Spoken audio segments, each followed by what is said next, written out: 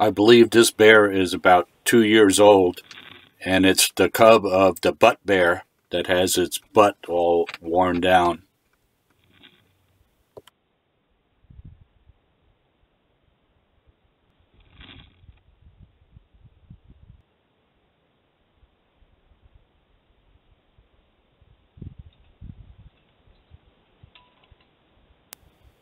It's climbing up on to the top of the deer stand in order to get the bird block that I have up on top.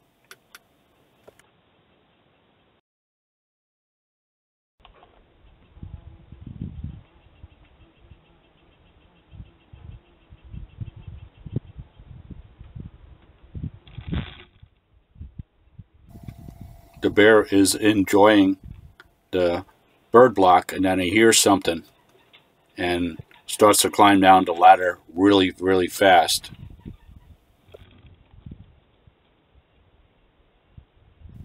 About 15 minutes earlier, I'd uh, drove up with the truck